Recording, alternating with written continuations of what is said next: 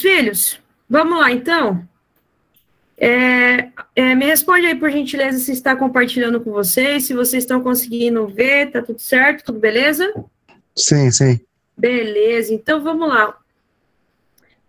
Começamos aqui, literalmente, a nossa parte semiológica respiratória, e vamos começar por elas, pelas síndromes brônquicas, e logo a gente passa pelas síndromes pleuropulmonares. Antes, antes, desculpa eu fazer isso com vocês, mas é necessário, eu tenho que fazer perguntas de autoavaliação, tá? Por quê, professora?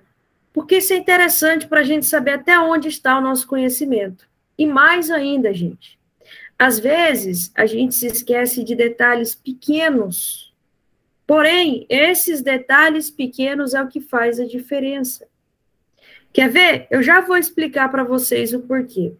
Vocês sabem qual é a fisiopatologia do sintoma de tosse? Vocês sabem como que se pode classificar a tosse? E que causas de tosse vocês conhecem? Outra pergunta, né? Diz assim: como se realiza o enfoque do paciente com tosse? Aí você para, você se pergunta e você não se lembra de nada. Porque às vezes você para e pensa que tosse é algo muito simples. Mas, porém, tosse, existe uma diferenciação clínica entre uma tosse aguda e uma tosse crônica.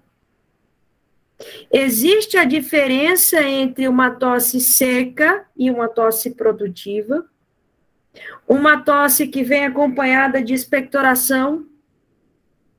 Uma tosse que tem predomínio matutino ou predomínio noturno. E se eu não sei o processo semiológico da tosse, dificilmente eu vou conseguir fazer um diagnóstico. Ah, professora, mas isso não é tão importante. É, sim. Se eu perguntar para vocês agora quais são os três ou as três principais causas de tosse, o que é que vocês vão me dizer? Vamos lá. Quais são as três ou as principais três causas de tosse? O que é que vocês podem me dizer? Professora, pode ser para liberar a via? Pode, né? Por um processo obstrutivo? Pode. Mas antes dessa, né, nós temos três, três causas principais. Três ah. patologias ah. principais. Quais são? Asma. Pode ser asma, pode ser bronquite. O que, que mais? DPOC? É. Essas patologias têm a tosse como um sintoma agregante, fato, ou também pode ser um sintoma ou motivo de consulta. Tá, deixa eu tirar essa luz aqui da minha cara só um pouquinho. Sinusite, resfriado? Gente, primeira coisa, enfermidade por refluxo gastroesofágico, né? É algo que produz tosse. Goteio nasal ou gotejamento nasal é algo que produz tosse. Bronquite, asma, mais bronquite às vezes do que asma, é algo que produz tosse, porém asma também. Essas são as três, as três causas, quatro causas principais.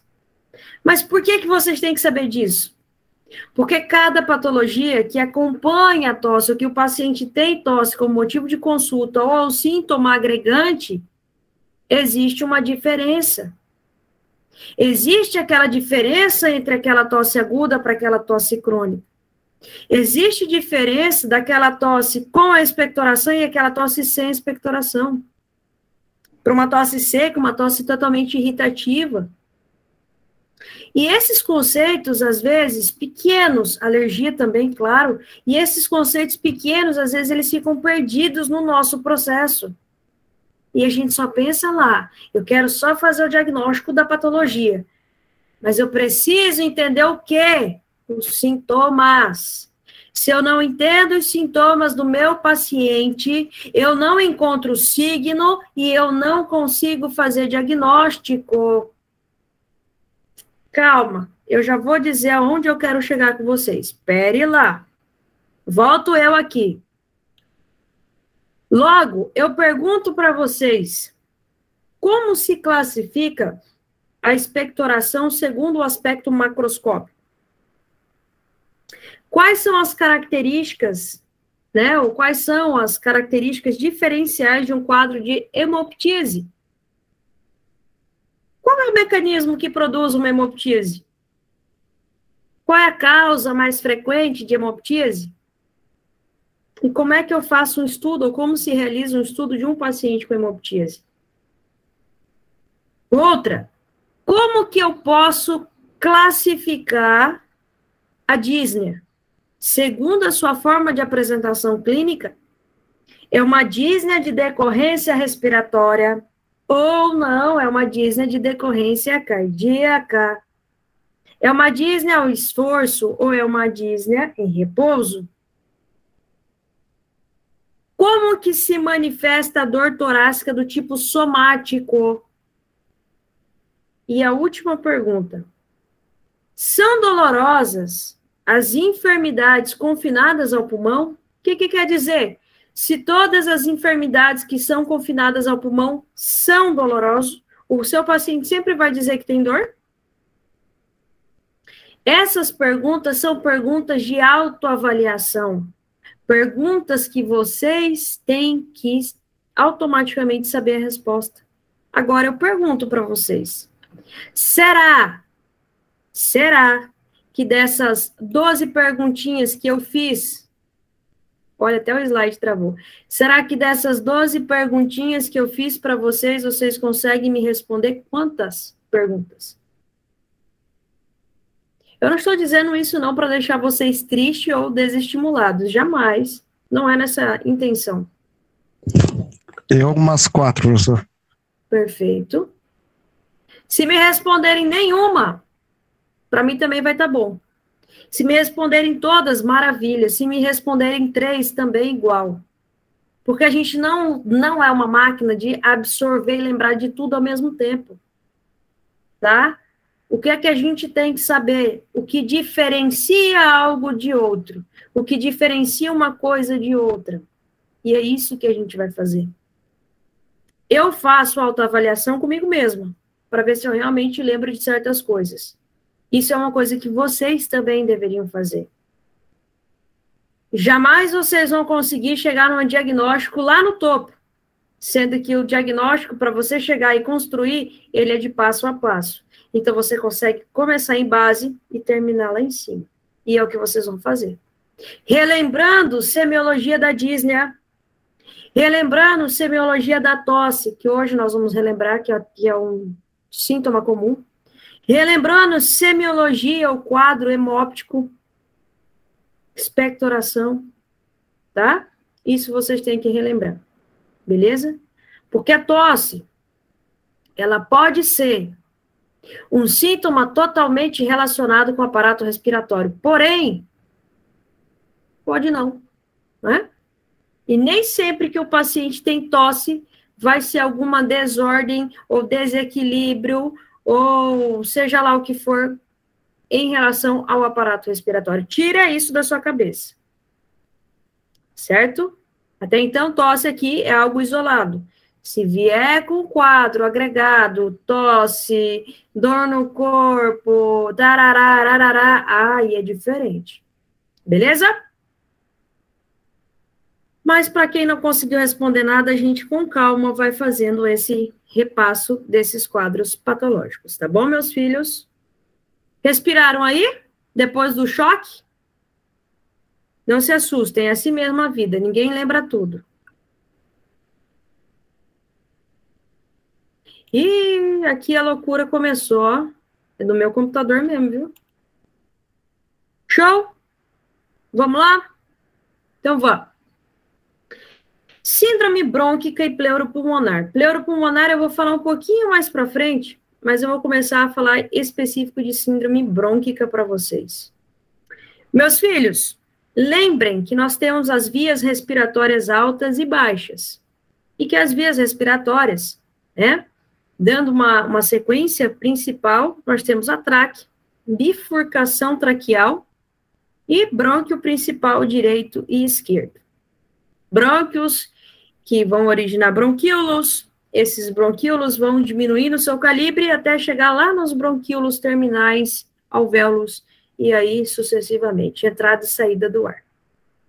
Então, uma afetação a nível do sistema respiratório, ela pode ser uma afetação a nível laríngea? Pode. Traqueal? Pode. Bronquial? Pode. Alveolar? Pode.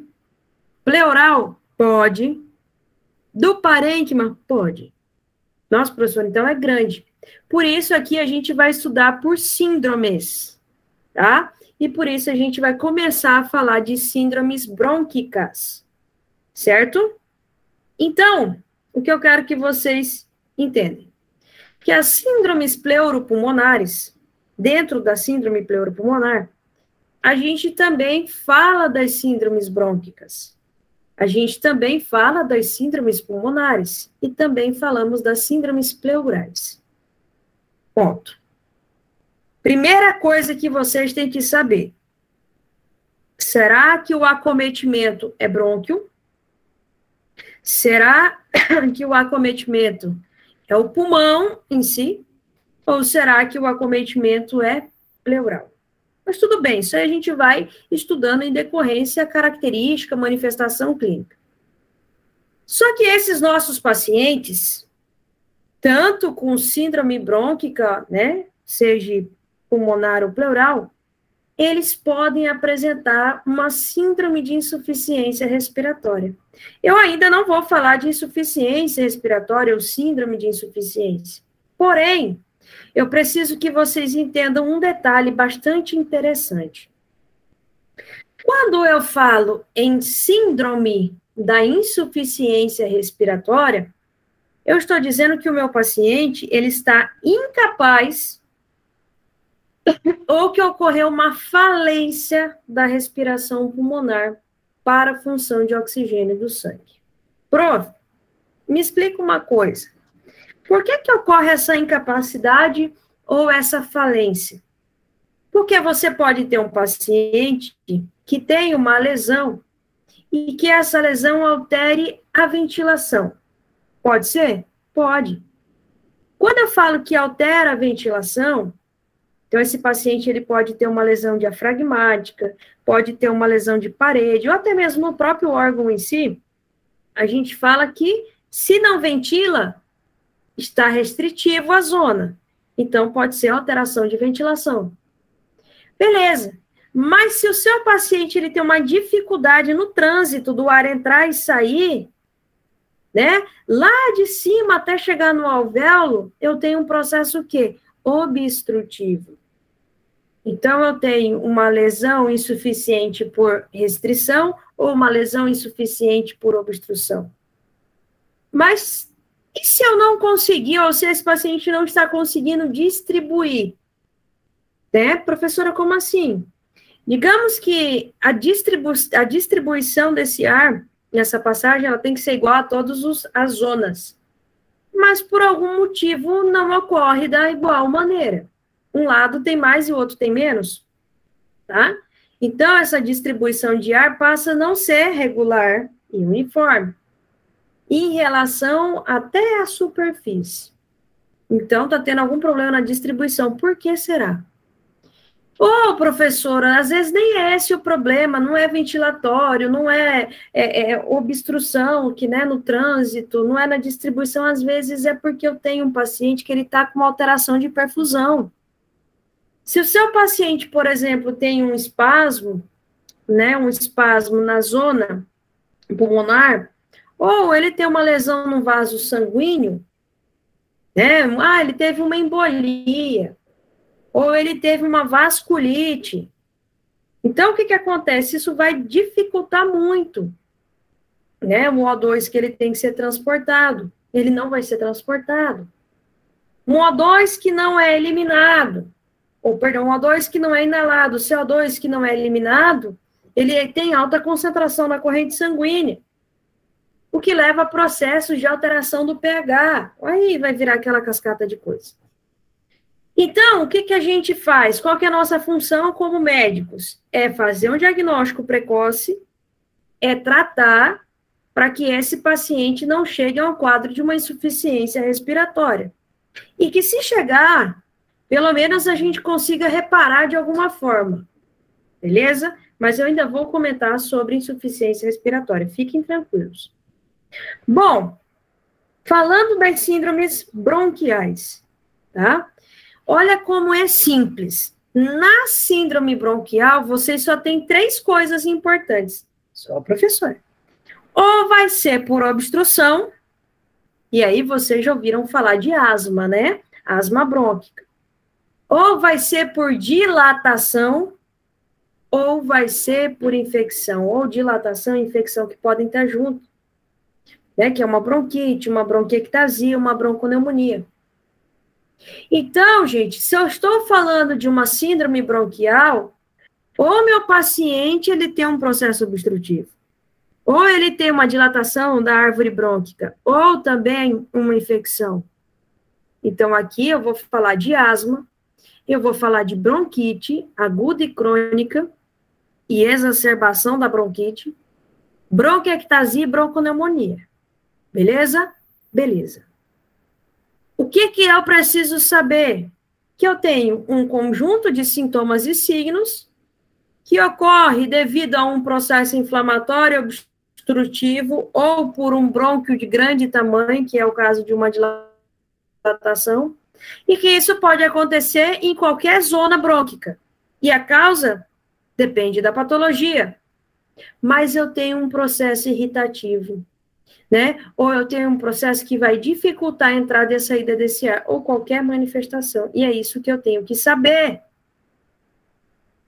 Quando, quando eu falo de síndrome brônquica, eu quero que vocês, meus alunos, aqui cortou, tá? Mas aqui é dilatação que está escrito embaixo, depois eu vou alterar. Eu quero que vocês pensem, como é que eu faço o diagnóstico diferencial de uma asma brônquica? Para uma bronquite aguda ou crônica, para uma bronquiectasia, para uma bronconeumonia. Porque pode ser. Tudo está dentro de uma síndrome brônquica.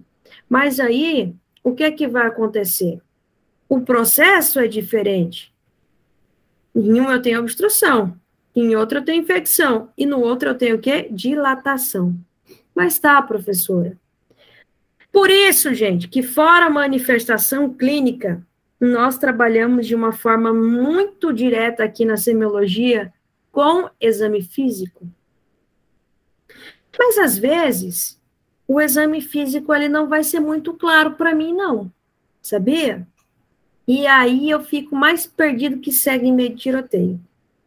Prof, na inspeção em um processo obstrutivo, geralmente o seu paciente vai ter que ter tiragem, né? Lembra, gente, é uma obstrução. Então, se é uma obstrução, esse paciente ele está tendo dificuldade, né, para entrada e para saída, mais às vezes para saída do que para entrada.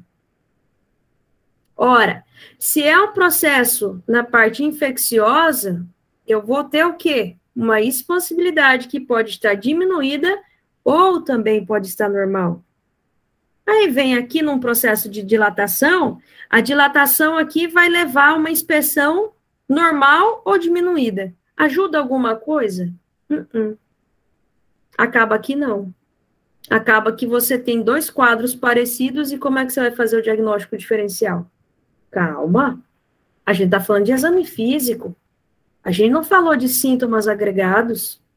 A gente não falou de etiológico, agente etiológico que vai causar esse processo. Respira, tá? Vamos lá. Palpar. Frêmito. E aí, professora? Num processo obstrutivo, esse frêmito pode ser totalmente normal ou, claro, diminuído. Infecção variável depende do grau de infecção. Mas na dilatação, esse frêmito ele vai estar normal ou aumentado.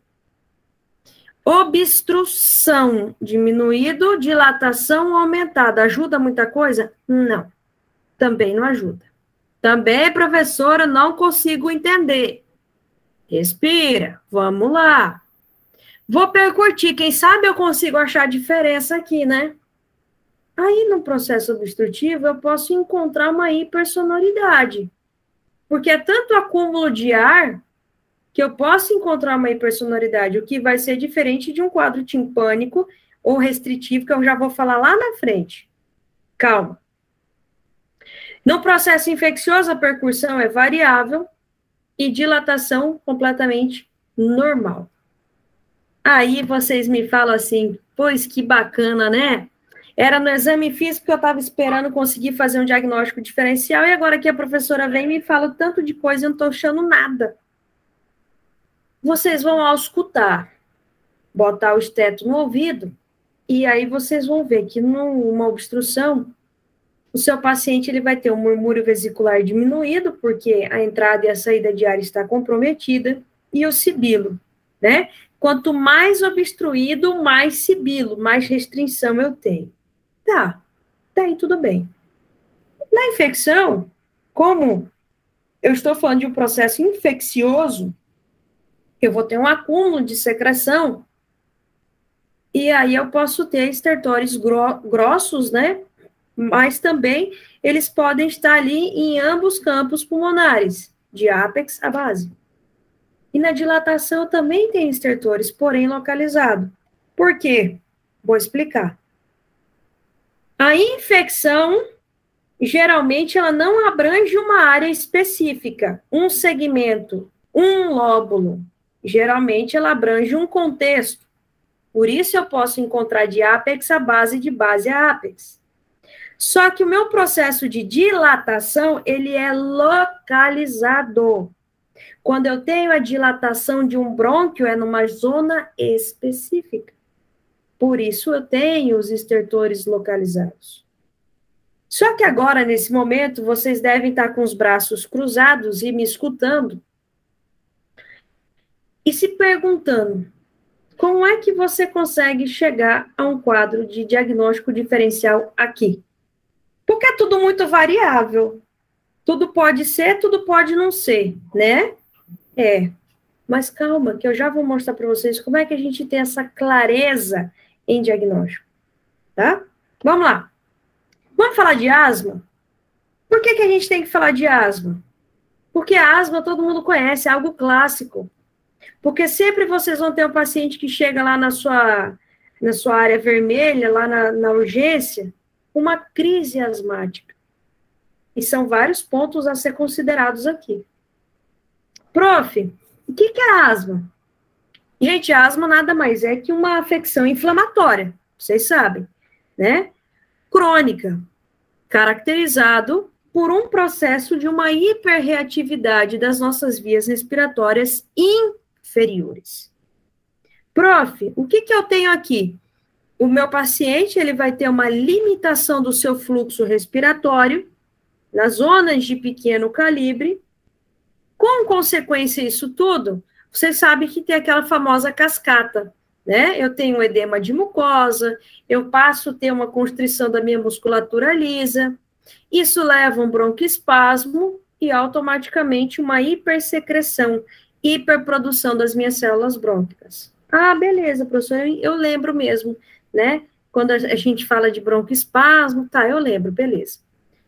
Isso é um conceito, o que, que me importa aqui o conceito? Me importa, né? Porque eu preciso saber, mas me importa a manifestação clínica. Olha, você tem um paciente que geralmente ele tem uma manifestação clínica por crise, tá? Todo paciente que tem uma asma brônquica, ele vai apresentar uma crise. Ele vai ter um processo de crise. Só que às vezes pode ser leve, às vezes pode ser grave, às, às vezes pode ser até uma eminência morte. Mas o que, que ele vai apresentar para você? Ele vai chegar num quadro de dispneia. Isso é fato, tá? Só que essa dispneia, esse quadro, a gente diz que é uma, existe uma predominância muito grande na questão expiratória. Isso vocês já sabem. Prof, esse paciente vai chegar para você e vai dizer que ele tem uma sensação de constrição no peito. Nossa, doutora, parece que meu peito está apertando, parece que alguém está me sufocando. Isso quando ele conseguir falar. Porque tem pacientes que nem conseguir falar, eles não falam. Quando o seu paciente está falando, menos mal, ele está numa crise leve. Quando o seu paciente não consegue concluir as palavras, ele já está num estado grave. Agora, quando o seu paciente chega inconsciente, sonolento, ah, meu irmão, corre, porque ele já está numa eminência morte, tá? Mas vamos chegar ali. Tudo bem. E aí ele fala assim, doutor, eu tô com uma dor, dói meu peito, mas eu não sei aonde, parece que tá tudo ruim, parece que eu tô apertado, parece que eu... E ele fica desse jeito. E você entra em pânico, porque você precisa resolver logo esse problema, tá? Mas aí ele vai te dizer mais coisa ainda. Que ele tem chieira no peito, ou chiadeira, ou parece ter um gato dentro do peito dele. Tá. Mas ele vai te falar assim: eu tive tosse. Tosse? Mas essa tosse foi como? Ah, não, doutora, no começo era uma tosse seca, mas aí, né, ela passou de seca para uma tosse produtiva. E eu estou expectorando. Parece que é um muco, não sei, eu estou expectorando. Só que eu não consigo eliminar. E durante esse processo, vocês conseguem ver que o paciente está assim. Tentando fazer isso. Tentando, né, eliminar essa secreção. E ele não consegue. Porque a secreção está tão espessa por esse processo de hiperreatividade e tá tão, tem tanta constrição que eu não consigo botar isso para fora. Opa, isso só me evidencia o fato. Tá, entendi. Prof, aqui, qual, o que, que eu poderia pensar? O que mais? Vamos, vamos conversar um pouquinho agora, nós aqui? Vocês têm, desculpa fazer esses sons e talvez incomodar vocês aí, mas aí eu preciso que vocês entendem, tá?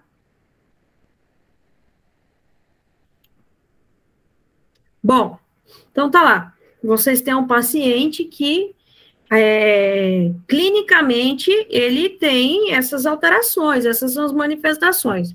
Mas vamos supor que esse paciente não deixasse assim tudo muito claro, né?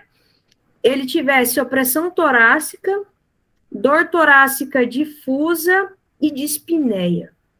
Três coisas: opressão torácica, dor torácica difusa e dispneia.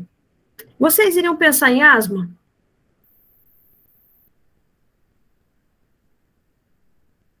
Vocês iriam pensar em asma? Não. Por quê? Direto não. De cara não. Vocês nem conversaram com o paciente, tá? O paciente já chegou com esse sintoma. Vocês não fizeram história clínica dele. Quais são os outros fatores que vocês poderiam pensar? Infarto. O que mais?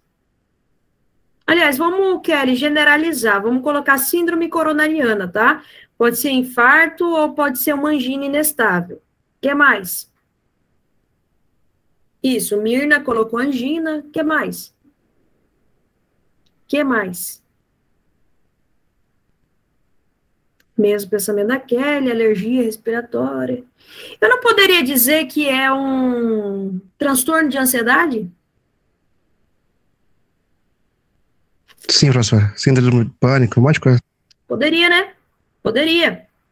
Aí é o ponto em que eu quero comentar com vocês.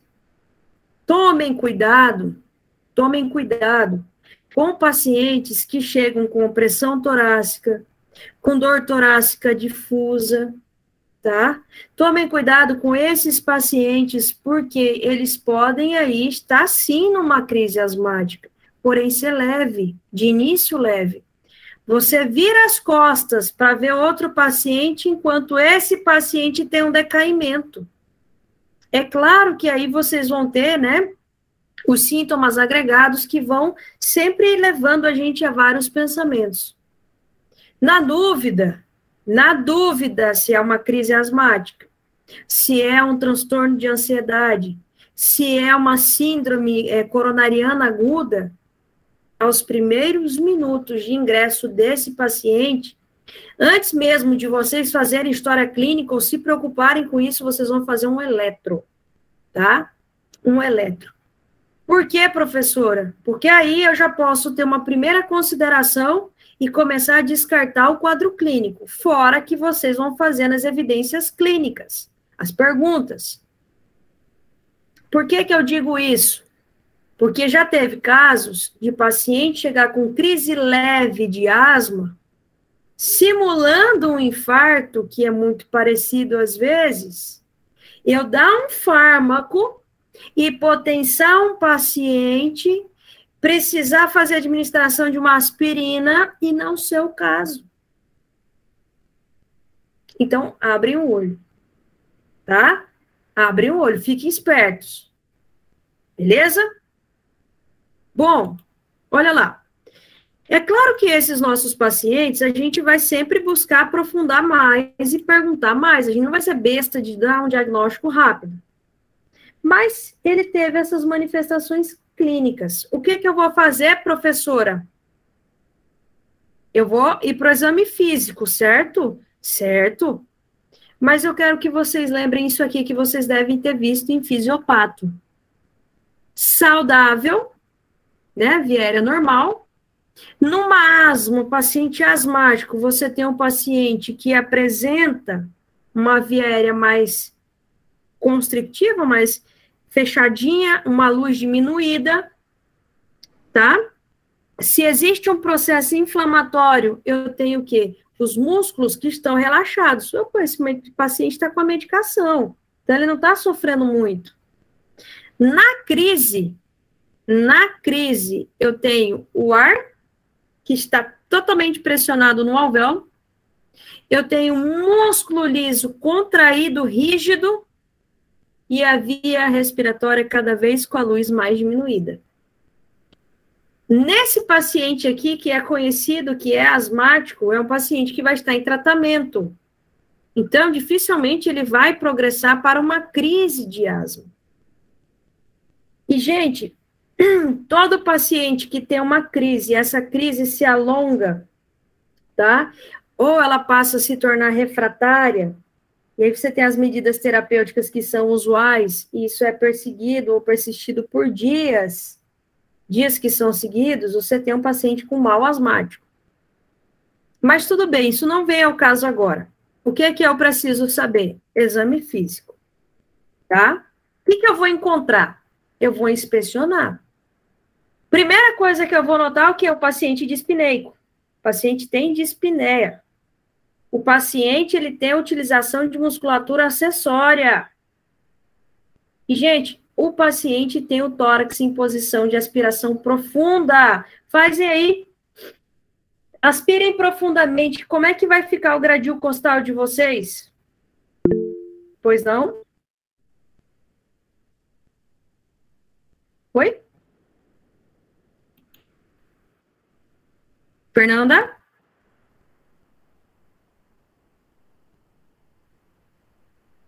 Acho que ela saiu da sala, né?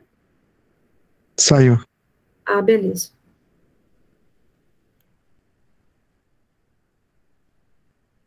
Bom, aí vocês vão encontrar um paciente que ele está assim, ó, com aquele tórax completamente em posição de aspiração, que a gente chama, né? Aquele tórax que ele tem um agrandamento, aquele tórax que ele tá, aquela caixa torácica está em protusão naquele momento. Se ele tem a utilização da musculatura acessória, se ele está com uma via obstruída, ele vai ter tiragem. Por quê? Porque eu vou, ter, vou estar no estágio onde eu tenho uma alteração de pressão. Beleza, entendi, professora. Eu vou fazer o quê? Ali está faltando uma letra, né? Mas depois eu arrumo. Vou palpar. Quando eu palpo, o frêmito tóraco vocal do meu paciente, ele pode ser completamente normal se for uma crise leve. Mas se o processo é tão grande, se a obstrução é tanta, ele vai estar diminuído, com certeza. Vou percutir, professora. Paciente com crise asmática, você encontra uma hipersonoridade. Encontra uma hipersonoridade. Isso é fato. Mas aí vem um detalhe, porque aqui eu estou falando de alteração a nível brônquico, tá? alveolar, não estou falando de alteração a nível pleural, que normalmente é pânico. Vou auscultar. O murmúrio vesicular vai estar diminuído? Vai. Por quê, professora? Porque eu tenho atrapamento. Não entra, ou se entra, não sai. Tá? E isso vai ser aonde? Na expiração, que esse paciente vai estar completamente prolongado. E sibilo. Sibilo de ápex a base, base a ápex, principalmente a gente diz em base, tá?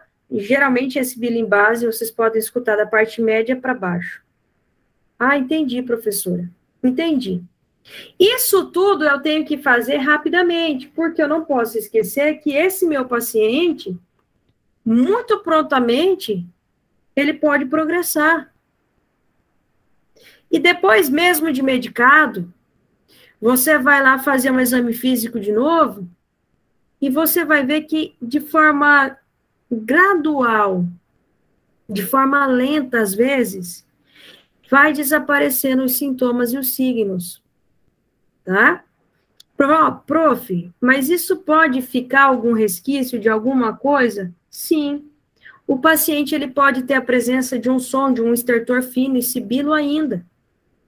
Porque não é do dia para a noite, não é de uma hora para outra que rapidamente faz a abertura da luz total, né? Mas vamos chegar mais ainda a fundo no detalhe. Ô, professor. Oi. Nesse caso, o sibilo seria na expiração? O sibilo, bem perceptível na via expiratória, por quê? Porque é a hora que ele tenta esvaziar o ar, né? Tirar, sair, tirar, liberar o ar dos pulmões. Isso, porque o ar até entra, mas ele faz o quê? Ele consegue sair com facilidade? Não, aí é onde vai ter o, a obstrução, né, no caso. Perfeito. Uhum. Tá?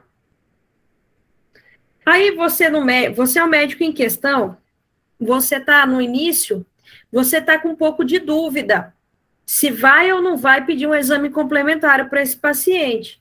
E você vai pedir uma radiografia. Mas quando você pede uma radiografia, você pede já naquela incerteza. Primeiro você trata, depois você pede. Por quê, professor? Você está em crise, você não vai esperar fazer o raio-x para depois tratar, né? Mas será que a radiografia desse paciente vai estar, tá, vai ter alguma alteração? O que, que vocês podem me dizer com isso?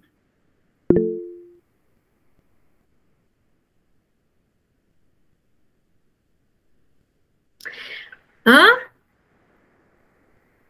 que, que vocês acham? Que vai, vai ou não vai ter alteração? Gente, então, aqui é uma coisa interessante. Se você for partir do princípio de fazer um diagnóstico somente pelo exame complementar, você está perdido. Por quê? Por quê, professora? Porque durante ou, do, ou esse momento, né? Durante esse momento, você talvez não consiga observar nada. Nada.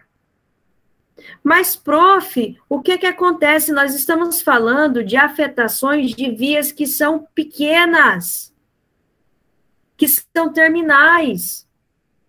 Nem sempre uma radiografia vai conseguir traduzir para você o que está acontecendo. Diferentemente de um paciente com uma bronquite, Diferente, diferente de um paciente que apresenta um, um enfisema ou que apresenta um EPOC, né, que é do, do grau de um EPOC, perdão. Então, não confie em, em exame complementar. Olha só o exemplo. Vocês sabem, gente, que é de uma pneumonia. Vocês sabem quais são as patologias que entram hoje como DPLC? Ou EPOC?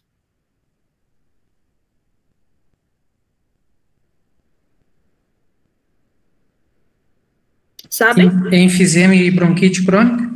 Isso, exatamente. Asma não tá mais, tá?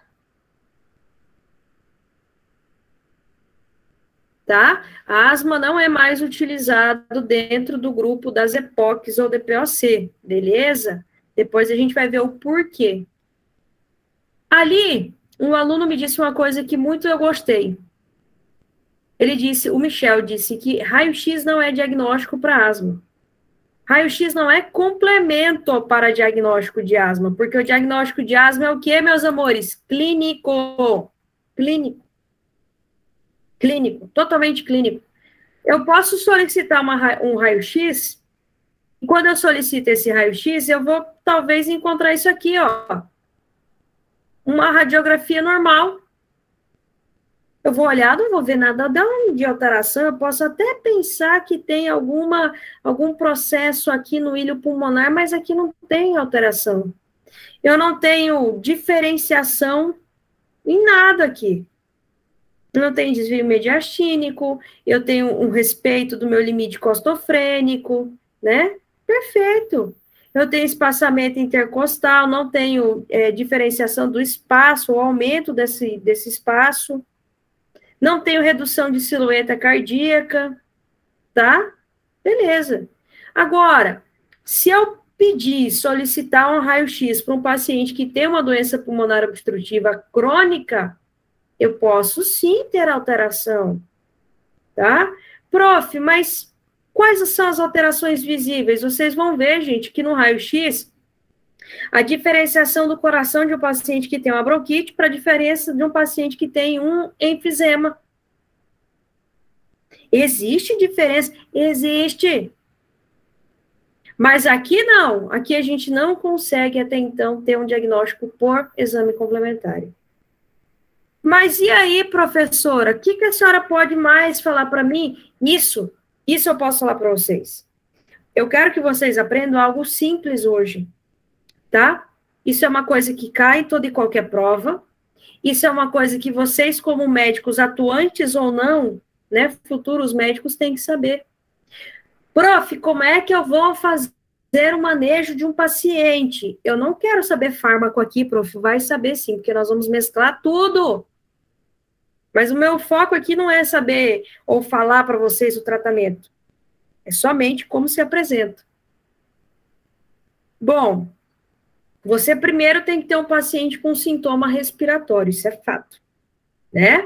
Então, ele vai estar dispineico, ele vai ter sibilo, ele vai ter tosse e também ele pode ter opressão torácica. Opressão torácica, com todas essas características, é algo sugestivo. Mas e se ele só tem opressão torácica? Ah, professor, aí eu posso, né, investigar em outros diagnósticos. Qual que é um diagnóstico diferencial para dispneia? Anotem isso aí que eu vou perguntar, tá? Anotem aí, ó, diagnóstico diferencial para dispneia. Professora, e aí? Qual que é? TEP, DPOC, tá? CRUP, obstrução e outros que a gente mais costuma ver. Mas vamos esquecer esse aqui? Vamos partir para esse aqui? Você vai avaliar o seu paciente, você tem uma história mais ou menos do que está acontecendo com esse paciente e você faz o exame físico. Beleza. No exame físico é constatado tudo aquilo que eu falei anteriormente. Aí o que é que você precisa fazer? Monitorizar o seu paciente. Primeira coisa, oximetria de pulso. Você precisa conhecer e saber a saturação desse paciente. Se ele tem saturação de 90 a 95, ou melhor, de 95 a 96 a 97, até 90, você respira. Você respira ele também, porque ele está numa crise leve tá? Mas não é só esse o critério. Mas se ele tiver com oximetria de pulso abaixo de 90, abre o olho e acorda. Acorda porque você tem um paciente que ele pode descompensar a qualquer minuto e ele está num grau de severidade. E se o meu paciente entra, né? O familiar desesperado, chorando, doido da vida e dizendo: que não sabe o que aconteceu. Ele está com tórax, que a gente chama de silente, que é aquele tórax totalmente agrandado, tá? Ele está sonolento e confuso. Como assim, professora? Vou chegar lá. Bom, crise leve, o seu paciente vai ter o quê? Ele vai completar as frases, ele vai estar tá sentadinho, né? Do que ele deitado, deitado ele vai dificultar mais a respiração, e ele vai estar tá tranquilo ele vai sim ter um aumento da sua frequência respiratória, isso é normal, Mas você não observa a utilização de musculatura acessória. E pode ser que você nem observe tiragem nesses pacientes. Pois não?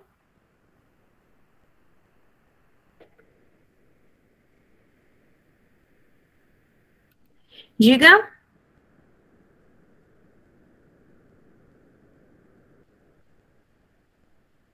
Oi?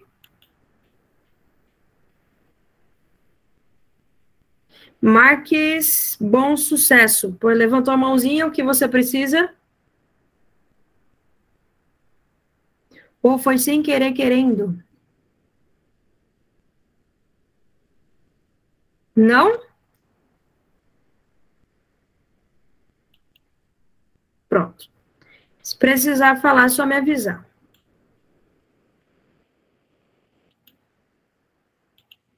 Tá?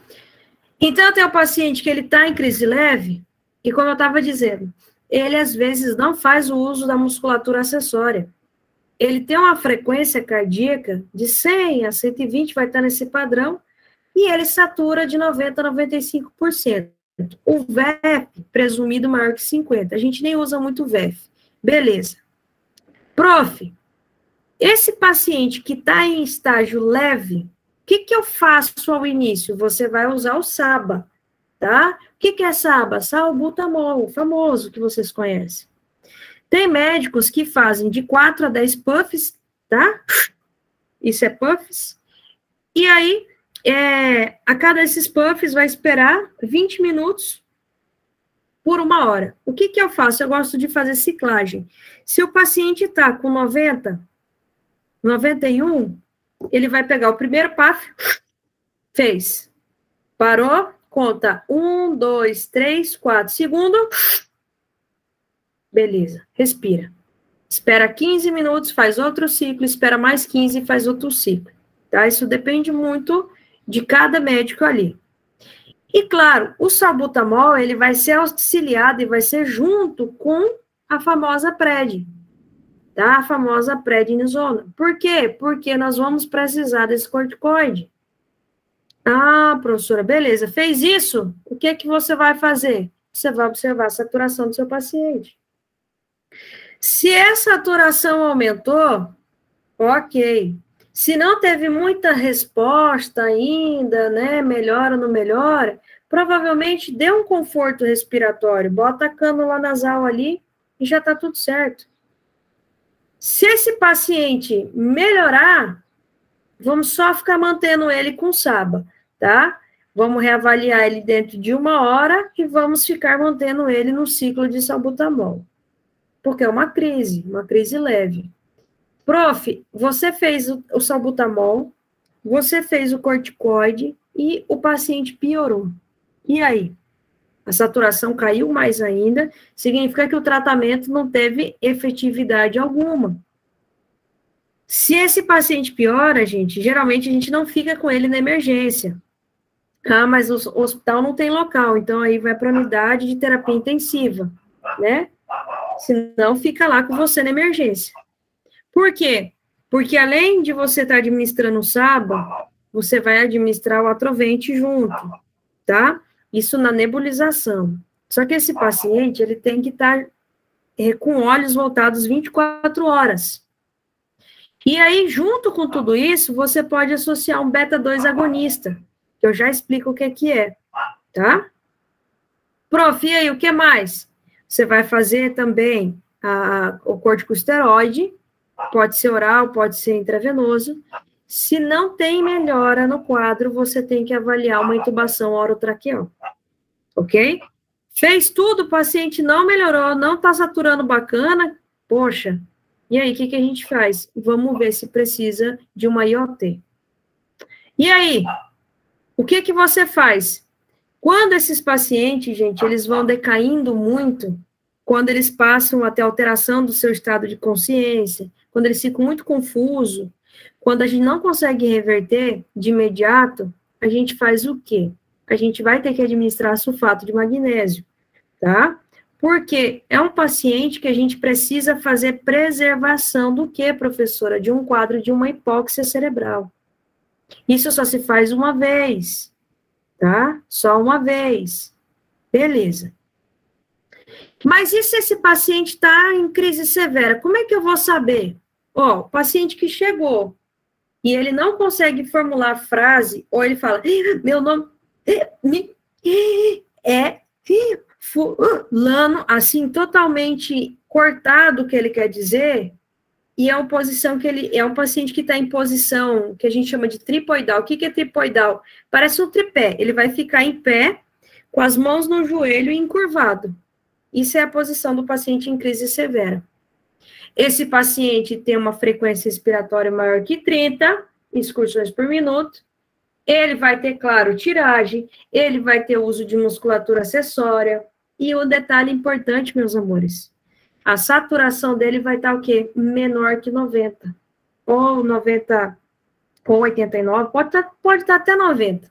Isso depende muito também do paciente em si. Tá? Mas isso são para vocês, são coisas que eu quero que vocês saibam. O que é um paciente, como é a manifestação clínica de um paciente em uma crise leve, em uma crise severa e uma ameaça à vida. Se você tem um paciente que chegou em uma crise severa, além da oximetria de pulso, você vai solicitar uma gaso, beleza? É importante, professora? Claro que é importante tá? E daí a gente precisa, sim ou sim, de uma gasometria. Bom, detalhe.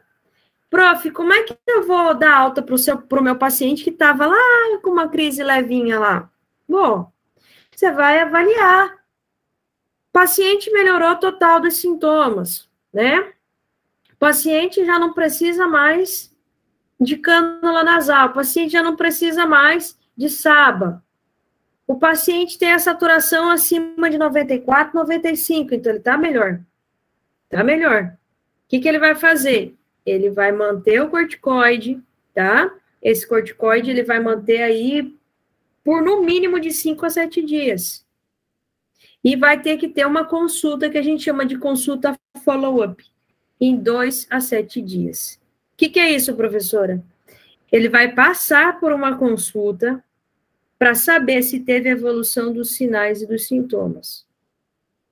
Ele vai avaliar o desmame, né, que seria a descontinuidade do corticoide. O médico vai avaliar a técnica de inalação e se o tratamento está sendo efetivo ou não, tá? Prof, eu sou um paciente que eu tive mais de três casos no ano. Não importa, gente, se você teve é, um ou dois, né, episódios que seja, aí o que, que acontece? Você vai ter que passar por um plano de, de reavaliação e outro plano de ação. A gente precisa tomar um cuidado com você muito grande, porque qualquer momento você pode chegar numa crise severa ou numa ameaça à vida e eu não tenho o que fazer. Entendeu? Mas aqui, o que que eu preciso que vocês saibam? Não é, né? Não é não é. Pois não, deixa eu ver aqui.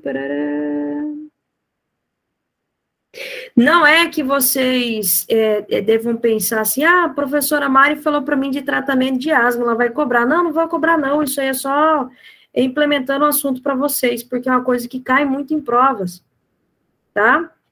O que que para nós em SEMA é importante? Avaliar o quê? Como esse paciente está avaliar os sinais, avaliar os sintomas, avaliar o estado de consciência desse paciente, isso é importante, tá?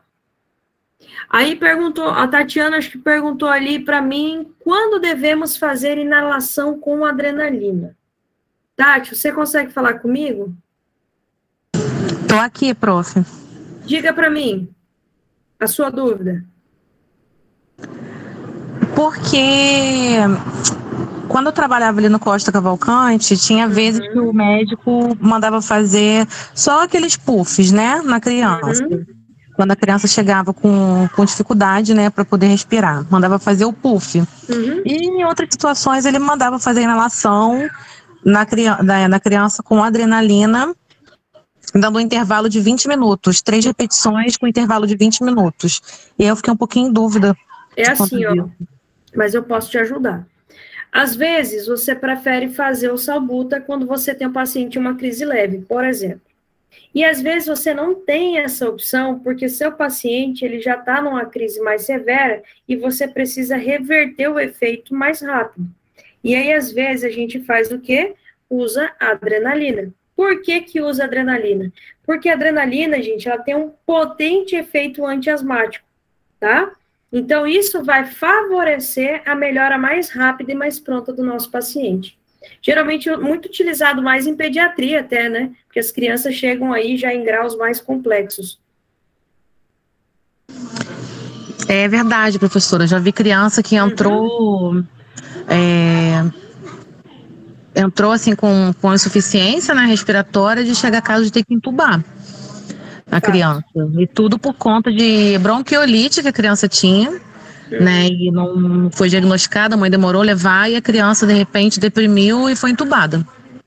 É, e geralmente utiliza mais na pediatria porque, assim, é, os nossos pacientes, né, que são pediátricos, eles até então podem ainda não ter alguma comorbidade cardíaca ou cardiorrespiratória, né? Geralmente eles não são hipertensos, geralmente são pacientes que não têm processos arrítmicos ou qualquer alteração que seja. Aí você vai em pediatria, a gente vai estudar muito, é, a gente não, vocês, aliás, né? Vocês vão pegar 0,5, vai diluir em 3,5 de soro e vai fazer de duas a quatro horas. É claro que isso depende da crise, né? Se ela é leve ou se ela é severa. Mas, professora, é, pediatria é uma área que até para trabalhar é complicado, né? Porque é tudo muito uhum. melindroso. É, e o quadro de uma criança é impressionante como que ele reverte muito rápido. Você olha para uma criança, você acha que a criança está bem, quando você vai ver a saturação da criança já caiu. Tanto que lá a gente tinha duas, duas técnicas de enfermagem que só elas cuidavam de criança. Né? Porque é. criança é bem complicado. Gente, eu vou dizer uma coisa para vocês. É, para quando você tem uma, um, geralmente um paciente, uma pacientezinha, né, um pacientezinho pediátrico, você sabe que criança, para ter obstrução laríngea é muito rápido, né, um dado, uma moeda, pedra, sei lá, qualquer coisa.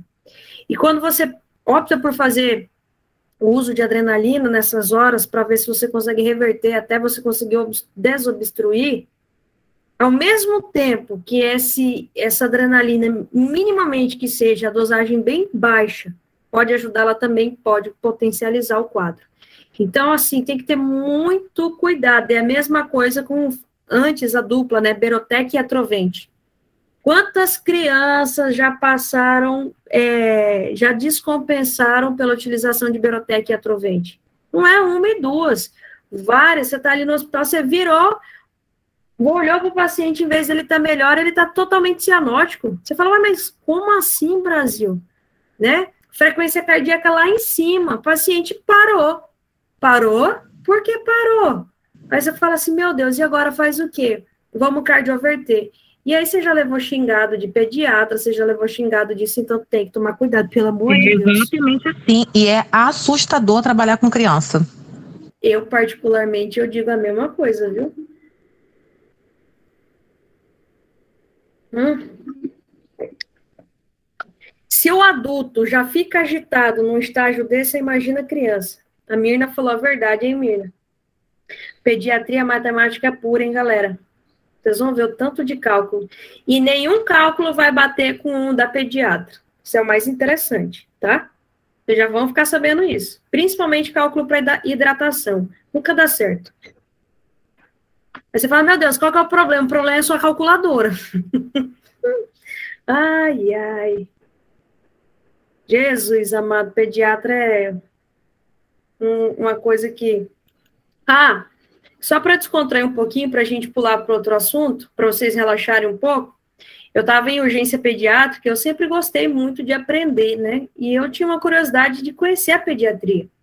Chegou um dia, a gente estava lá, aí teve uma, uma menininha, acho que era 5, 6 anos, não sei bem qual era a idade da paciente, e justamente essa paciente, ela chegou com obstrução, né, obstrução laríngea, e ela tinha um estridor muito forte,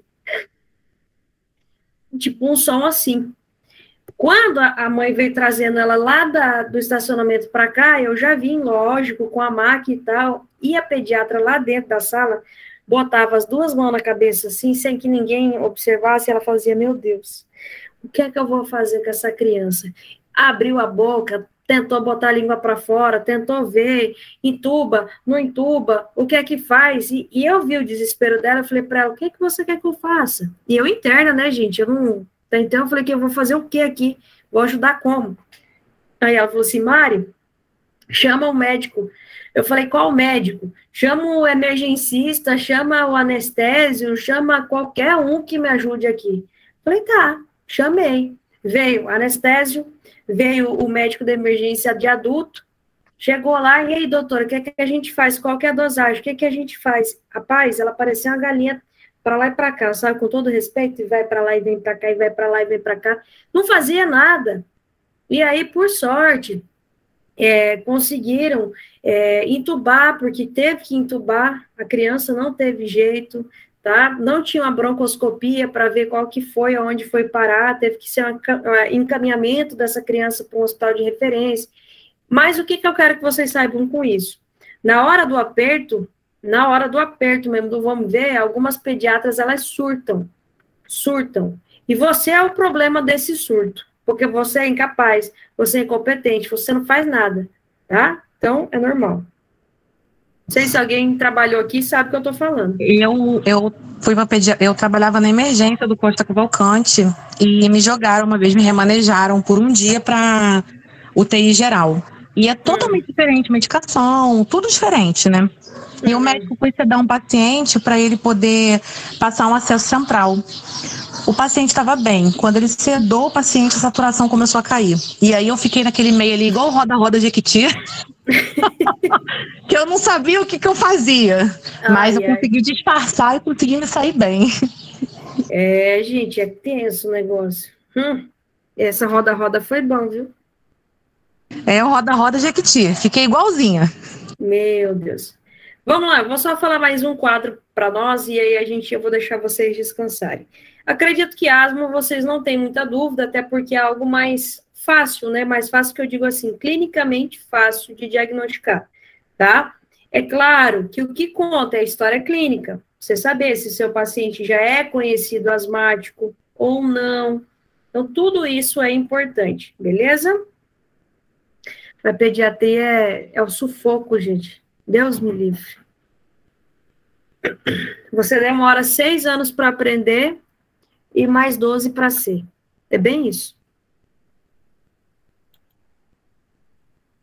Bom, uma outra condição, né, na qual a gente, eu nem vou comentar quais são os tipos ou por que que tem asma, quais são as causas de asma, que vocês sabem que isso é variado.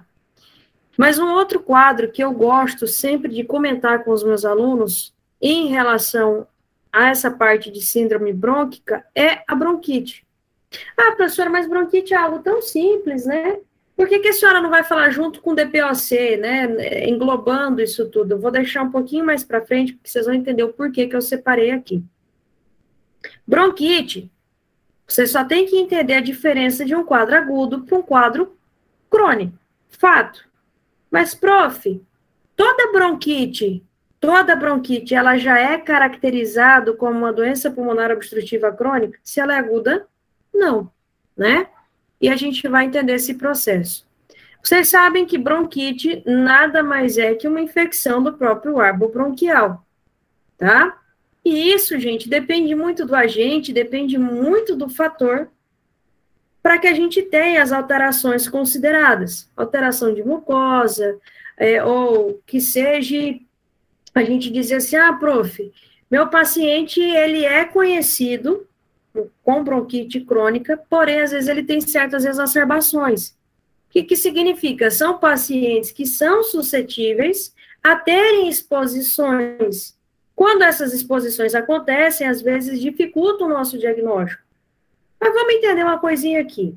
O que, que eu quero que vocês saibam? Vamos começar do básico, na bronquite aguda. Gente, bronquite aguda, geralmente a gente utiliza o termo que é causada por vírus.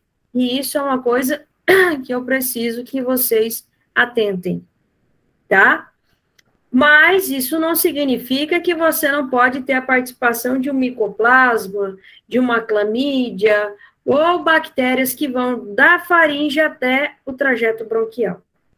Prof, por que, que a senhora falou vírus? Gravem isso que eu falei para vocês. Geralmente é causada por vírus. Porque eu vou precisar perguntar no antecedente patológico pessoal se o meu paciente ou a minha paciente estava gripada semana passada, né?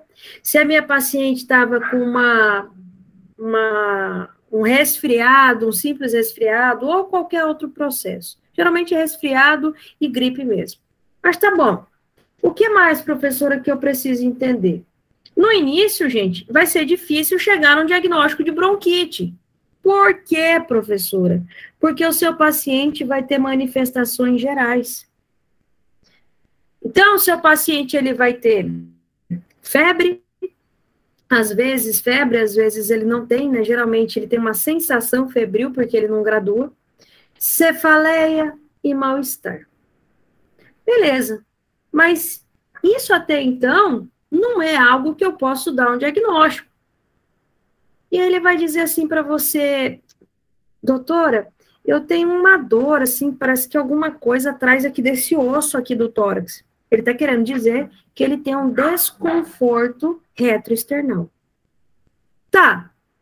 Mais que isso, ele pode falar ou demonstrar uma rouquidão, né?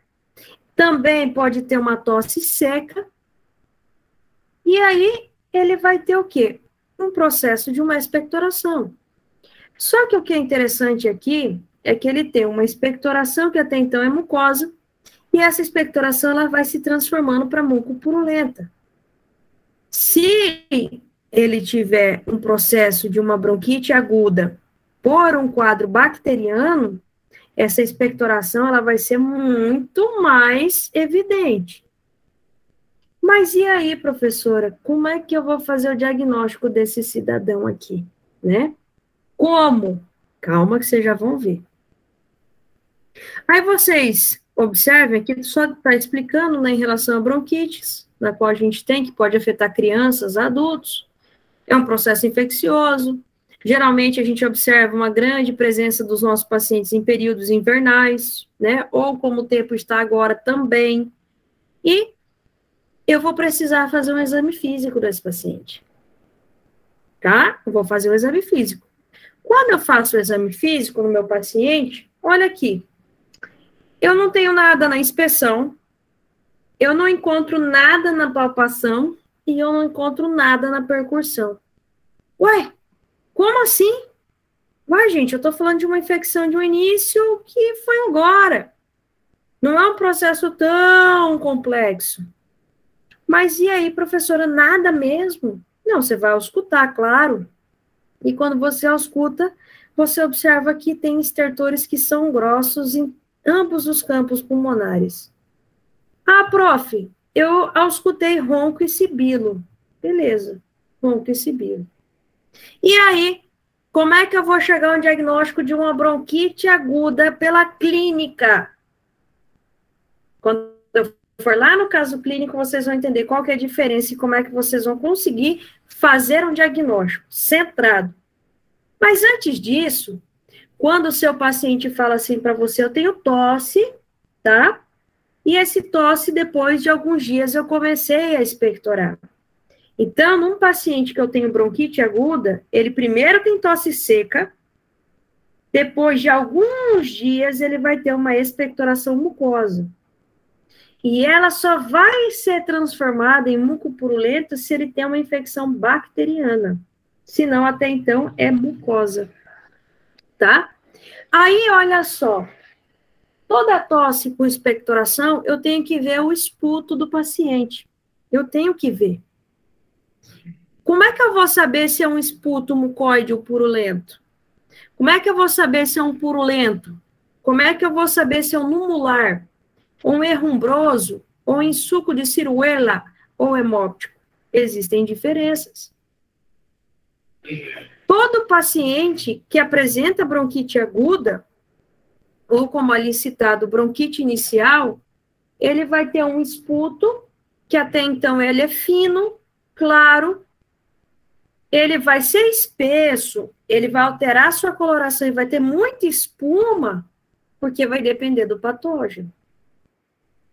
Ah, entendi, professora. Agora, existe diferença de um esputo claro, fino, né? Pode ser até espumoso, para um que é mais espesso, mais amarelo e que tem um mau cheiro. Ou algum que você pode ver assim, nossa, ele tem uma coloração diferenciada, né? Parece um, sei lá, que é engoliu terra e tá cuspindo terra. O cheiro horrível. Ou pode ter presença de sangue, pode ter. Então, gente, o que que acontece? É importante você avaliar o esputo do seu paciente. Só que é claro que você não vai pegar e não vai abrir o pote e você não vai enfiar o seu nariz lá dentro para sentir o olor. Quando você faz isso aqui, faz uma análise macroscópica, você sabe dizer se tem muco, você sabe dizer se tem pus, se é purulento, você sabe dizer se é móptico, se ele tem sangue acompanhado. Ou, pelo menos, você sabe dizer que tem saliva e uma expectoração induzida. Mas até então você não tem uma característica de uma alteração que chame atenção. Por quê? Porque na grande maioria das vezes, doenças que acometem ao nosso sistema respiratório, elas tendem a ter tosse com expectoração. E como é que eu consigo fazer o diagnóstico diferencial? Pela clínica, obviamente. Mas tanto a bronquite aguda quanto a bronquite crônica, o seu paciente tem expectoração. O que muda é a característica da expectoração. Um paciente com TBC, um paciente com abscesso, um paciente com uma bronquiectasia. Pneumonia vocês vão ver bastante, TBC também, tá? E aí, professora, como é que eu faço para saber? Vocês vão ter que perguntar ao esputo. Qual que é a cor? Se ele é fino, se ele é mais consistente, se parece que a expectoração é mais pela manhã ou a expectoração é mais pela noite. Então, são perguntas que vão auxiliar vocês. Aí eu falo uma coisa para vocês, e por favor, prestem bem atenção nesse relato, tá? Olha, não faço igual meus colegas fizeram. Eu, no internato, era eu de mulher e eu era quatro homens comigo. Eu era bendita ao fruto dos homens. Né? Então, esse era o meu grupo. E aí, no meu internato, chegou um paciente que ele teve uma derivação de um cárcere. Ou seja, o paciente estava preso. Gente, todo e qualquer paciente preso, né, o que está na cadeia, seja lá um asilo ou aonde for, nós temos que tomar cuidado com questões epidemiológicas. Tudo bem? Queixa, do princip... Queixa principal do paciente: dor torácica, tosse com expectoração, febre com escalafrios. Tá, então, você não sabe o que, que é. Eu sempre tive né, o cuidado de trabalhar na emergência com máscara. Sempre. Às vezes eu esquecia, mas eu sempre. Tá. Esse paciente, na hora, claro, pegaram ele, colocaram em clínica médica e deixaram em isolamento. Por quê? Já na suspeita de uma TBC, de uma tuberculose.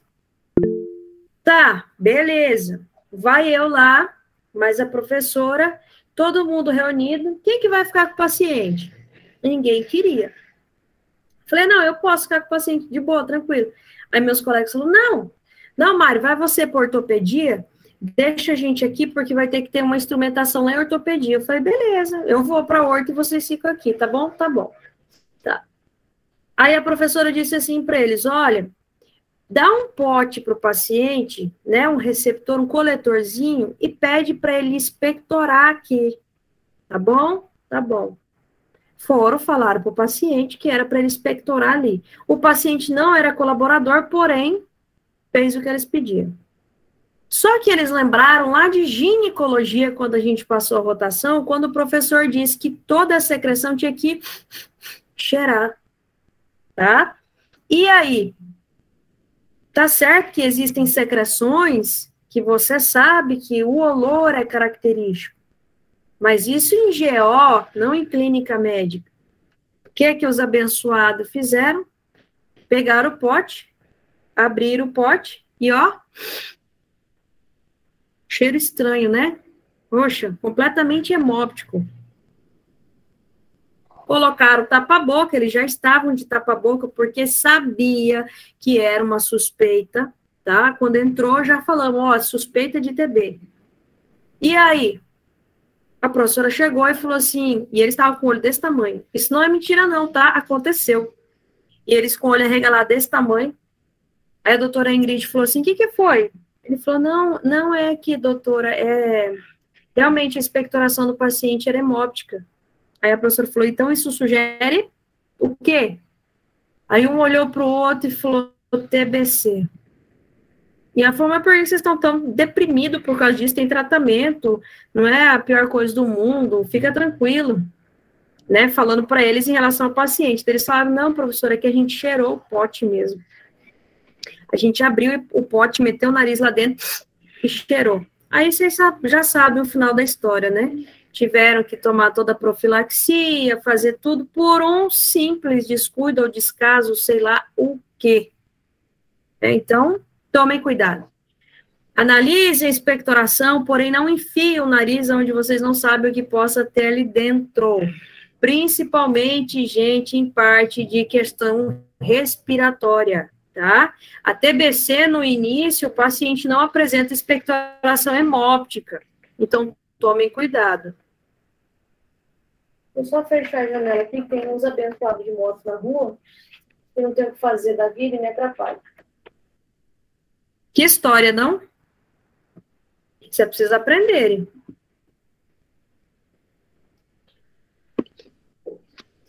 E melena, assim. Melena que tem um olor que é, meu Deus do céu. Característico mesmo. Tá. Falamos disso. Então, dificilmente vai ser, é, eu vou conseguir fazer um diagnóstico mais específico em relação a isso, porque também o que, que conta, gente? O tempo.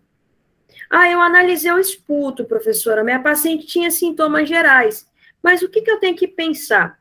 Eu vou pensar na diferença de bronquite aguda para crônica. Na crônica, vocês sabem que o paciente, ele tem excessiva secreção de muco excessiva, prestem bem atenção. Então, para eu dizer assim, poxa, professora, meu paciente, né, é, ele vai ter que ter uma tosse com expectoração. Ah, entendi. Só que você sabe o que, que é característico de um paciente com bronquite crônica? É um paciente que, ora, ele está bem, ou seja, ele tem melhoras em alguns tempos e pioras em outros tempos. Ah, então isso é um fator importante. É, e quanto mais exposição ele tiver em relação a, a, a, a processo infeccioso, em relação à poluição, em relação ao tabaco, mais processos esse paciente vai se encontrar de melhor e piora. Hum, professor, entendi.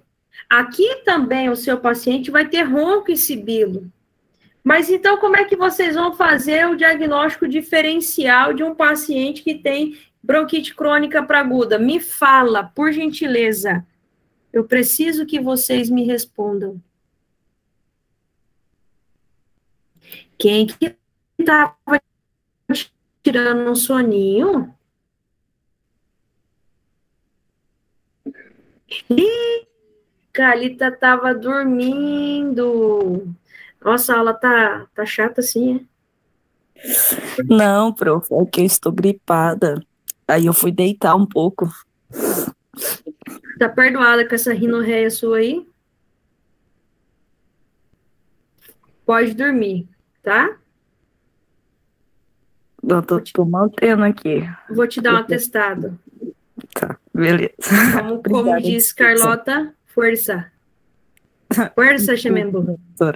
Não, meu coração é brincadeira, tá? Meus filhos, falem para a mamãe aqui como é que vocês vão conseguir, então, fazer um diagnóstico diferencial de bronquite aguda para bronquite crônica. Diz para mim como, o que? Fala. Se ele já tuvo antes ou é a primeira vez que se apresentam os sintomas. Isso é um dado importante, né? Se é a primeira, primeira exposição ou não. Se tem recorrência, gente, se tem persistência, né? Se a história clínica é de um dia isolado que aconteceu isso, ou se não, se já tem anos de evolução. Por quê, professora? Porque talvez se você solicitar uma radiografia, você não vai conseguir fazer um diagnóstico. O tempo aí é quem manda. Ah, entendi. Pessoal, a, a crônica fica anos, né? Oi? A, a crônica pode durar anos? Nossa senhora, você pode morrer com ela. Tá? E, depende da sua condição, depende da exposição. Quanto mais você se expõe a agente infeccioso, ao tabaco, à poluição. Gente, esse tempo de agora. Esse tempo de agora, para qualquer paciente que tem doença respiratória, vai acontecer o quê? eles vão ter um sintoma, não vão? Ou é dificuldade para respirar, ou é tosse, ou, ou é tosse com expectoração, não tem como. Porque, olha, tá, o mundo está em fumaça e fogo. Então, não tem como. Tá? Então, o que, que, o que, que a gente faz? Tem como a gente resolver a bronquite de forma rápida? Infelizmente, não. Infelizmente, não. A gente trata aquilo ali e tenta evitar a exposição de certas questões. É o paciente que a gente mantém, essa é a verdade, certo? Mas vamos conversar mais um pouquinho com isso aqui. Deixa eu voltar aqui rapidão. Bom, então tá. Então a gente viu que o esputo é muito importante para o diagnóstico auxilia no nosso diagnóstico, mas não necessariamente que vocês vão solicitar análise de esputo para todos os pacientes, beleza? Senão que conhecer a macroscopia do esputo já ajuda bastante, tá? Que característica tem?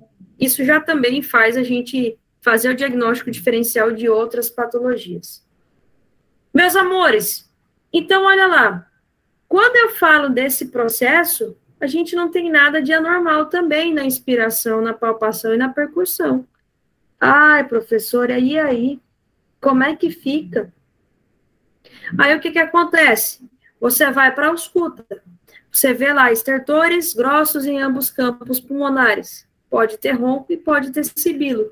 A mesma coisa do agudo pode ter no crônico, tá? Pode, pode.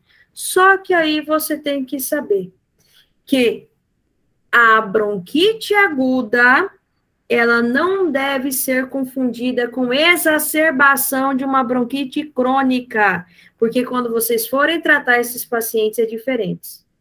Como assim, professora? Eu tenho bronquite crônica, um exemplo, e eu posso ter episódios de exacerbação de uma bronquite crônica? Posso, posso, tá? Que é diferente de um paciente que tem o primeiro caso, a primeira manifestação de uma bronquite aguda. Por que, que eu falo isso? Porque a clínica é semelhante. O que vai mandar é a história clínica do seu paciente. Se ele é conhecido portador, por assim dizer, ou não. Certo? Então, gente, o que vale a gente lembrar que a severidade dos ataques né, do quadro de uma bronquite sempre está relacionado com tabaquismo, exposição a gases que são tóxicos, ou também qualquer injúria em relação ao trato respiratório. Prof, quando a senhora fala assim para mim, exacerbação, né? Vamos pensar aqui em dois, duas coisinhas importantes.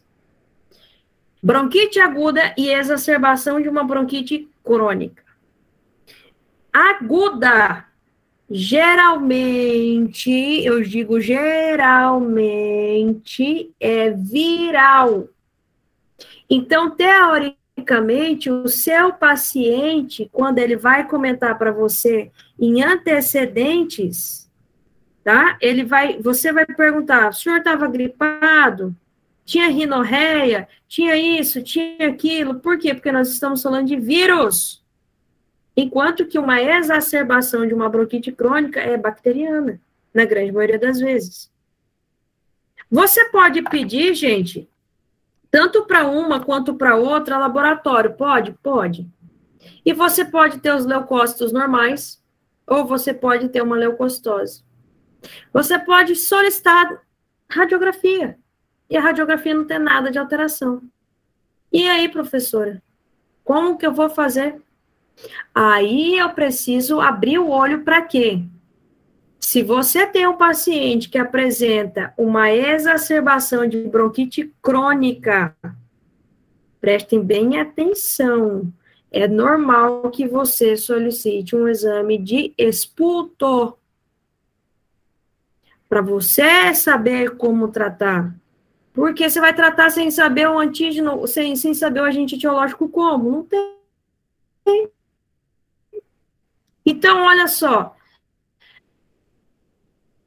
A diferença de bronquite aguda para uma exacerbação, uma bronquite crônica. Aqui eu estou falando de um paciente que teve um episódio. Mas ele já é diagnosticado persistente seca dolorosa, um expulto mucoso e antecedente de infecção de vias superiores, até uma laringite, beleza? Na exacerbação de uma bronquite crônica, o seu paciente, gente, o que é característico? Ele vai ter o quê? Ele vai ter incremento de tosse. A tosse com expectoração mucoporulenta, ela passa a ser a persistência, ou seja, ela é persistente. E esse paciente, ele vai ter muita produção de muco, esputo, esputo, esputo, por isso a, a expectoração mucopurulenta. Pode ter disney? Pode. Paciente que tosse demais, pode apresentar disney? Pode. Produção de muco demais, pode apresentar disney? Pode. Só que aqui é interessante, às vezes você vai perguntar para o seu paciente, ele não refere que ele teve algum caso de uma infecção prévia. Ele só simplesmente disse: Eu amanheci assim. Tá? Então, isso é o que faz com que a gente consiga diferenciar. Aí, se você vai, estuda, vai no livro, você vê assim: a bronquite crônica, definida pela famosa ATS, é um transtorno que se caracteriza por secreção excessiva de moco e se manifesta por tosse produtiva crônica e recorrente por muitos dias durante, no mínimo, três meses ao ano.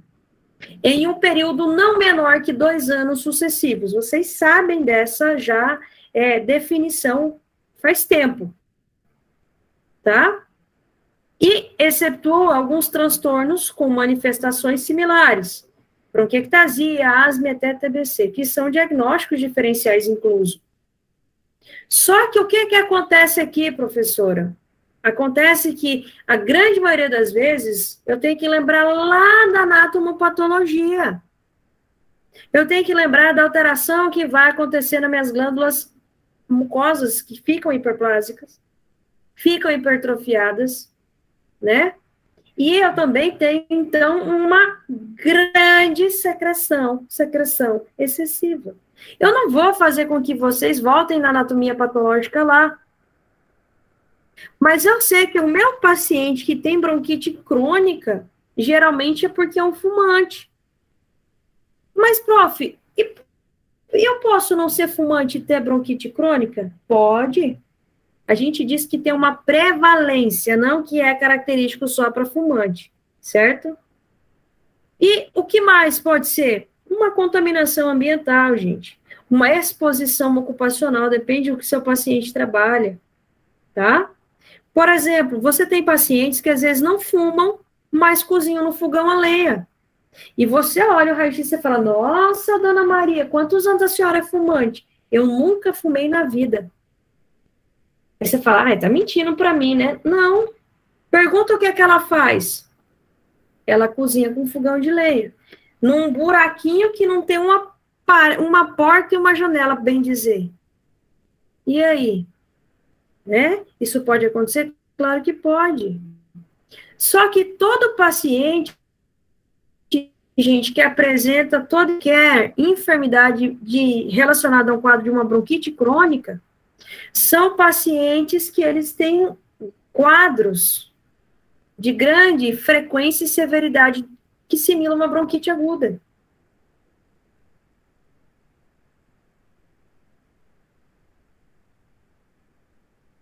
Então, sempre esses pacientes, pacientes com alguma doença respiratória, algum processo infeccioso, tá? E aí você fala assim, poxa vida, mas e aí, o que, que eu faço com esse paciente? Aí você lembra lá da fisiopatologia para você conseguir realmente diferenciar três coisas importantes. Bronquite exacerbação de bronquite crônica e a famosa bronquite crônica em si, tá bom? Prof, todo e qualquer organismo que tem uma anóxia, que sofre uma lesão, tem câmbios, tem mudanças, tá? Nesse caso, esses nossos pacientes, eles têm alteração de condução. Esse ar dificilmente ele consegue chegar com uma clareza nas vias periféricas. Mas todo esse processo leva a um processo inflamatório, que vai levar a uma vasodilatação, aquela cascata, vai ir para uma congestão, para um edema, né? Eu tenho estreitamento das minhas paredes, e aí, claro, me leva a um processo obstrutivo. Só que aqui, gente, eu falo de um processo que eu sempre vou pensar em quê? Em inflamatório. Mas essa questão inflamatória, professora, quanto mais eu tenho a irritação, mais eu tenho um agrandamento, mais aumenta o meu número de células, mais eu tenho produção excessiva de muco. Por isso que todo paciente com bronquite, para um melhor diagnóstico, é o quê? É o quê? Tosse com expectoração mucopurulenta, tá? De forma grande, que persiste por meses, não é por dias. Lembra que eu falei no início da aula para vocês? Ó, asma, a gente vai lembrar de obstrução. Bronquite, a gente vai lembrar de inflamação. Bronquiectasia, a gente vai lembrar de dilatação. Aí não tem como vocês errarem mais. Certo? Prof, então quer dizer que com todas essas mudanças que esse meu paciente tem, esse paciente vai se enfermar com frequência, com certeza. Por quê? Porque acaba que de tanto que eu preciso ficar ali, né? Defendo, é, o meu sistema imunológico vai variar muito. Vou fazer a defesa depois. Não, agora eu tô bem, então não preciso trabalhar muito. Eu vou tendo um transtorno mucociliar. E acaba que a minha defesa vai ficando o quê? Comprometida, tá? Então, cada vez que eu tenho um processo de uma repetição da mesma enfermidade por causas diferentes, eu faço uma defasagem no meu sistema, que é no meu sistema de defesa. Eu consigo ter uma alteração do meu epitélio, e isso fragiliza o meu paciente cada vez mais. Por isso que pacientes mais ancianos são pacientes propensos a ficar internado. São pacientes que têm frequência hospitalar, ah, entendi, professora. Isso pode acontecer por quê? Por vários micro-organismos. Na bronquite crônica, a gente sabe que é característico o processo mais a nível bacteriano.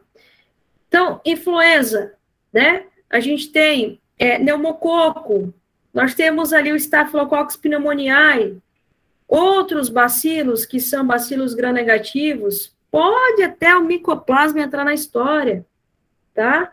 Mas é algo que eu penso, ali, ah, ali é viral, ah, não, aqui é bacteriano. E vocês sabem, gente, que toda patologia viral, ela traz características, não traz? Traz. Rinorré é uma delas. Olha o exemplo da nossa aluna ali. Tá? Então, você tem um paciente que está no, que tem uma exacerbação. Como é que eu vou saber, professora? O que, que eu vou olhar? O esputo desse paciente. Ele pode alterar a cor, ele pode alterar a consistência pode alterar a quantidade de, de, de frequência. Cada vez que seu paciente tosse, mais aumenta a concentração na expectoração. O paciente pode ter febre? Com certeza. Né? O paciente tem mal-estar geral? Tem, tem cefaleia, tem artralgia, pode ter mialgia, isso varia, depende do agente. Aí você vai auscultar. Aí você vê o quê? Sibilo, tem sibilo? Tem, mas é normal ronco. Ronco é mais normal que sibilo. Na asma é mais normal sibilo. Na bronquite é mais normal ronco. tá? Aí eu consigo diferenciar, então, professora, consegue, mas tudo lembra, depende do grau de afetação, tá? Vou fazer o diagnóstico. Eu, como que eu vou fazer diagnóstico? Eu preciso do quê? Do, do da clínica. Gente, a clínica é soberana, tá? A clínica soberana. Não consegui, professora, eu tenho como fazer a de imagem? Pode ser que você encontre uma alteração. Mas aí, se você precisar, você vai ter que fazer um exame de esputo, beleza? Vai fazer um exame de esputo. Tá, show de bola. E aí, professora, o que mais que eu posso fazer? Você pode pedir um hemograma? Pode. Pode ter uma leucocitose? Pode. Hum, entendi. Mas, né, é, eu posso também pedir ou ter a solicitação de outras coisas. Mas, geralmente, gente, o diagnóstico aqui é muito clínico, tá? Você vai pedir uma fibrobroncoscopia logo mais depois, quando esse paciente estiver lá pelos 50, 55 anos, 60, 65. Aí sim, caso contrário, o paciente mais jovem não se faz tão necessário. Você vai solicitar para o seu paciente parar de fumar, né, gente? Mas aí vocês sabem que isso é um fator que não acontece muito, tá? Então, o que que acontece? O tratamento, ele pode ser feito com broncodilatador? Pode. Corticoide? Pode. Antibiótico? Pode. Só que aqui que está o problema. Quanto mais você trata um paciente sem você saber realmente o agente, mais você fortalece aquele agente que está quietinho ali dormindo, né? A, todo paciente que tem bronquite, nessas exacerbações, o que, que a gente teme? A antibiótico profilaxia que a gente vai fazer. Por quê, professora? Porque às vezes eu estou tratando algo que não está tendo muito fundamento. Ah, pode ser, professora, que talvez seja um agente diferenciado. Não, gente, normalmente é porque já tem certa resistência mesmo, tá? Mas isso aí, claro que vocês vão ver bastante em fármaco, o que, que a gente vai tratar, ou como tratar da melhor forma possível. Então, da, da bronquite crônica, vocês vão lembrar de tosse produtiva durante mais de três meses por ano, por pelo menos dois anos. Olha o tempo disso aqui, galera, né? Vocês sabem que entra, né, e é característica da EPOC, geralmente os pacientes apresentam quadros logo aos 55 ou até antes, mas geralmente é mais, tá? E infelizmente acaba sendo uma das grandes causas de morte. Mas eu vou comentar mais de bronquite fazendo para vocês um quadro diferenciado de enfisema beleza? Para que daí a gente consiga claramente entender: será que o meu paciente tem uma bronquite ou será que o meu paciente tem um enfisema? Porque no exame físico vocês vão ter achados diferenciados, tá? Então, bronquite crônica nada mais é que uma condição que caracteriza por excessiva secreção de muco no seu arbo bronquial, ok? Está relacionado, sim, com asma brônquica. Está relacionado, que é a mesma coisa que bronquite asmática.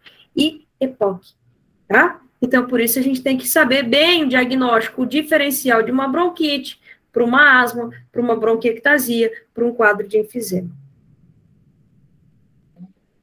Quanto mais, quanto mais persistir, né?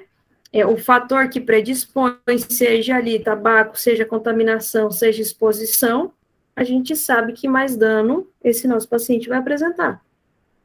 Só que aí entra outras coisas, tá? Então, o que eu quero que vocês avaliem? Um paciente que tem tosse persistente com expectoração mucopurulenta. Sibilo, gente, geralmente ele tem Disney no exercício, tá? E os sintomas, eles são insidiosos, duram anos. O esputo que é muco purulento, às vezes depois passa a ser o quê? Purulento. Pode ter estrias de sangue, porque tem muito esforço para expulsar esse, essa grande produção de muco. Ele acorda com tosse, tá? É um paciente que vai ter a característica de acordar com tosse. Sempre vai ter quadros de empeoramento quando? Quando tem inverno. E aí a coloração daquele esputo vai mudar. Por quê? Porque vai depender do agente. Certo? Belezinha? É fácil até então, né, gente? Só que uma coisa para a gente terminar aqui, que eu vou começar na nossa próxima aula, é que esses pacientes, ou todo e qualquer paciente que apresenta obstrução grave, o que a gente tem medo de ter quadros que vão complicar o processo. Uma hipoxemia, uma hipercâmpnia, uma hipertensão pulmonar ou até mesmo uma condição chamada de corpo pulmonar. Nós vamos ver isso em cardio, tá? Mas eu vou começar já falando dessas questões aí. Bom, para o diagnóstico clínico, vocês sabem, antecedentes, né? Saber se é tabagista ou não. E observar se vai ser, ou se é um paciente que apresenta taquipneia, se apresenta sibilo. Quando o paciente ele está num grau avançado, gente, vocês têm mais características a observar. Ele vai ter um agrandamento do tórax, tá? Geralmente, ele vai ter uma diminuição dos ruídos respiratórios. Não é que o murmúrio vesicular vai estar abolido, ele vai estar diminuído. Você vai ter, às vezes, uma R1 e R2 hipofonético, tá? que são os ruídos cardíacos. O paciente com bronquite, geralmente é um paciente que tem um excesso de secreção. É um paciente que geralmente tem a característica de ser mais obeso. É um paciente que tem ausculta de estertores, tá? Estertores com característica em predominância de roncos.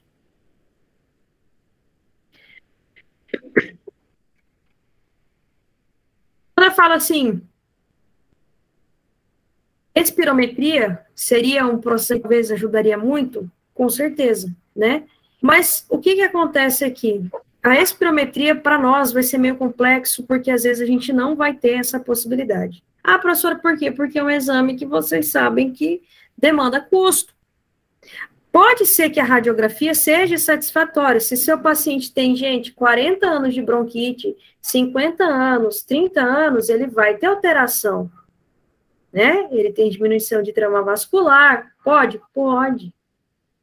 Prof, por que, que esse paciente pode ter incremento de glóbulos vermelhos? Por que será? Pensem. O que está acontecendo aí? Eu já respondo.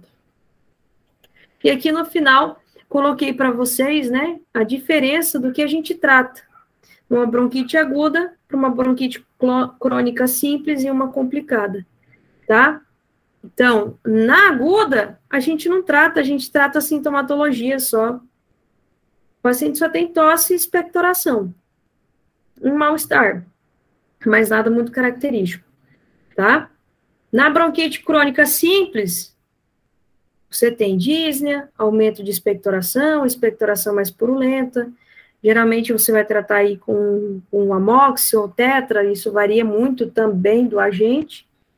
E aí, pacientes já naquele grau mais severo, né? Aquele paciente que já tem mais de 55, 65 anos, que tem um quadro de bronquite por mais de 10, 20, 30 anos. Aí você vai precisar fazer uma combinação farmacológica. Então, o diagnóstico é um diagnóstico clínico e a gente consegue sim fazer se a gente tiver um bom interrogatório. Pois não alguma dúvida, agora sim eu posso responder vocês. Vamos lá. Diga.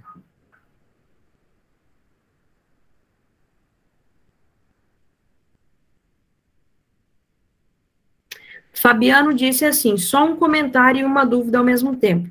Em um percentual de 75% dos fumantes têm bronquites, na grande maioria, sim, tá? Na grande maioria, sim.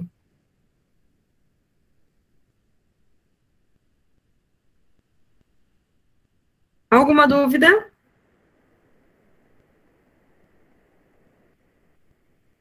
Mas é aí que você vai ter que fazer o diagnóstico diferencial de bronquite com enfisema, tá? Para não confundir.